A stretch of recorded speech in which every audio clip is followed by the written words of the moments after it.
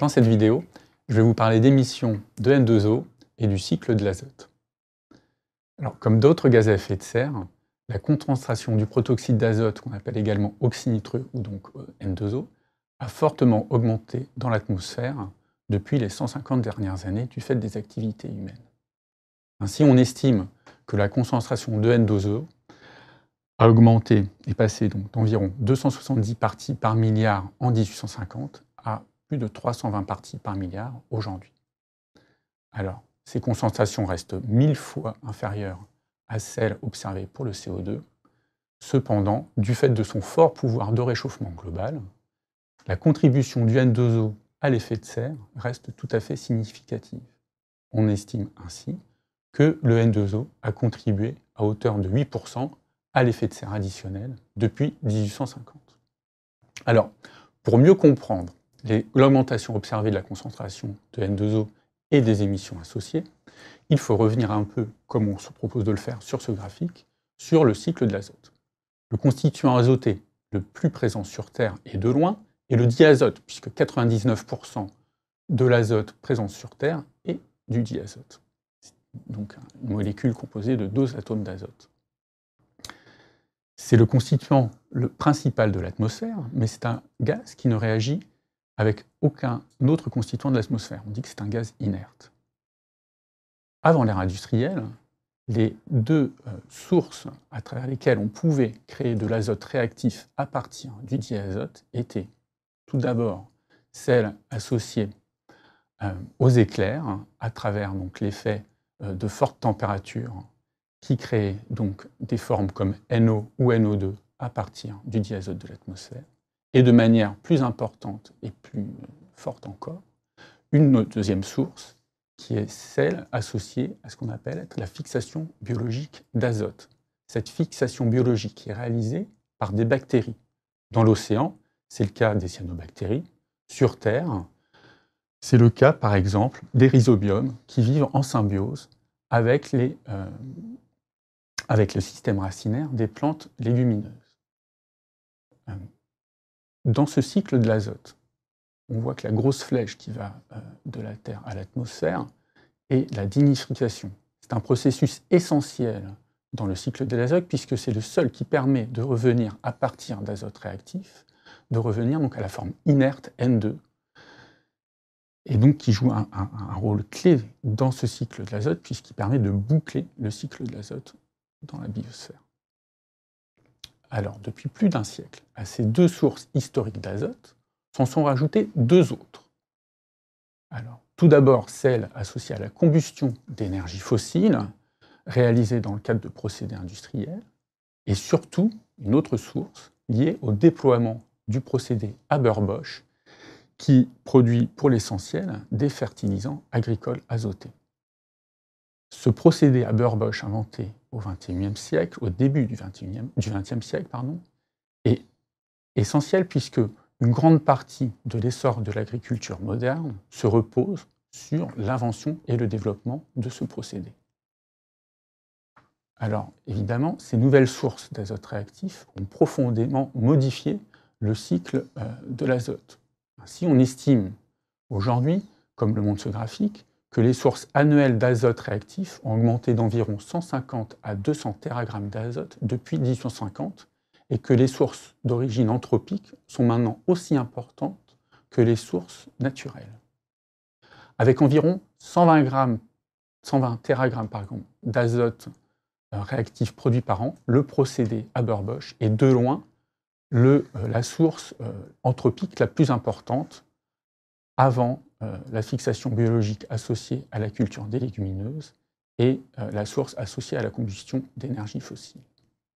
Alors, la majeure partie de cet azote réactif, comme on l'a vu, va servir à euh, fertiliser les cultures.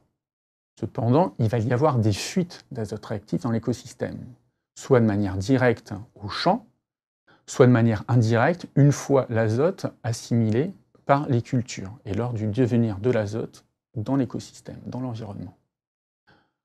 En fait, l'azote se transforme au cours de sa circulation dans l'environnement en diverses formes qui vont avoir des impacts variés sur les écosystèmes, la santé et le climat. Ceci a donc amené à introduire le concept de cascade de l'azote que l'on définit comme euh, euh, le transfert séquentiel de l'azote au sein des écosystèmes et leurs conséquences en termes d'impact. Parmi ces formes d'azote réactif, qu'on symbolise dans ce schéma en, rectangle jaune, on peut mentionner l'ammoniac, les nitrates et les oxydes d'azote. L'ammoniac émis dans les zones agricoles peut se redéposer sous forme sec ou humide sur les écosystèmes naturels. Les nitrates, quant à eux, lessivés, peuvent s'accumuler dans les rivières et contribuer à l'eutrophisation des eaux. Enfin, les oxydes d'azote émis dans l'atmosphère contribuent à la formation de l'ozone troposphérique, qui est un gaz à effet de serre et dont les pics de concentration induisent des risques pour la santé humaine et celle des écosystèmes. Parmi l'azote réactif qui va euh, s'accumuler et être produit dans l'écosystème, il y a le protoxyde d'azote ou le N2O. Le N2O est produit dans l'environnement sous deux formes, la nitrification et la dénitrification. Alors, la dénitrification, on l'a vu, permet de produire du N2 à partir d'oxyde d'azote. Et en fait, le N2O est euh, un produit intermédiaire de cette réaction de dénitrification. La nitrification transforme quant à elle l'ammonium en nitrate et on a vu donc que les fortes concentrations de nitrates sont responsables du phénomène d'eutrophisation. Le N2O est un coproduit de cette réaction de nitrification. Et les flux de N2O alors émis sont influencés par la température, la teneur en eau ou bien encore le pH. Comme le montrent les deux graphiques présentés ici, celui du bas et celui euh, de droite, euh, la variabilité temporelle du flux de N2O et variabilité spatiale sont très très fortes. Ceci donc rend délicate la mesure directe des émissions de N2O au champ et leur extrapolation à des échelles plus grandes. Les estimations directes du flux de N2O sont donc accompagnées d'une relative euh, grande incertitude. Néanmoins, les inventaires les plus récents estiment que 75% des émissions de N2O proviennent du secteur agricole les 25% restants provenant des activités liées au secteur de l'énergie, des transports ou de l'industrie. Au total, les émissions mondiales de N2O d'origine anthropique s'élèvent à 7 téragrammes d'azote par an, soit l'équivalent d'un peu plus de 3 gigatonnes de CO2. Alors, l'augmentation des quantités d'azote réactif dans l'environnement n'a pas, comme on l'a pu le voir, que des effets réchauffants sur le climat. Il y a l'augmentation de la concentration de N2O, ou de l'augmentation de l'ozone troposphérique. Il y a également des effets qui peuvent être refroidissants. Parmi ces effets, on peut mentionner fait que la présence d'azote réactif fertilise involontairement les écosystèmes naturels et a donc, jusqu'à aujourd'hui, entretenu ou amplifié le puits de CO2 dans la biosphère terrestre tel qu'on l'observe aujourd'hui. Les dernières simulations des modèles de système Terre qui projettent que ce puits de CO2 sera maintenu au cours du XXe siècle, notamment sous l'effet de la fertilisation du CO2 atmosphérique, n'intègrent pas, ces modèles, le cycle de l'azote. Aussi, on estime que l'estimation du puits euh, biosphérique de CO2 qui est représenté sur les barres bleues pourrait être diminuée si l'on prenait en compte le cycle de l'azote et, la limitation associée euh, de ce nutriment. C'est ce que montrent les barres euh, en, violet. Pour conclure, même si la présence d'azote réactif a des effets refroidissants sur le climat, les effets néfastes de son accumulation dans l'environnement appellent à réfléchir à des pistes visant à atténuer ce phénomène. On peut par exemple agir sur notre alimentation en gardant en tête que euh, l'élevage bovin entraîne plus d'émissions de N2O, à la fois du fait qu'il faut plus de surface pour produire l'alimentation du bétail, mais également du fait que euh, les, bovins euh, produisent plus de déchets, qui va être autant d'azote qui va alimenter la cascade de l'azote. On peut également réfléchir à des actions visant euh, à repenser le secteur agricole.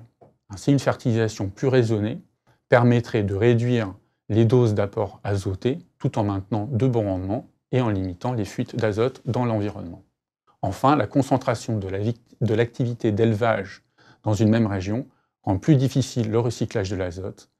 Cela s'observe à la fois aux échelles régionales, par exemple avec l'élevage porcin en, Bretagne, mais également à des échelles plus grandes, à l'échelle mondiale. Donc on le voit, il y a des solutions à la réduction de l'augmentation de l'azote réactif dans les écosystèmes, mais ces pistes appellent à des modifications individuelles et collectives de nos euh, manières de manger et de produire des aliments.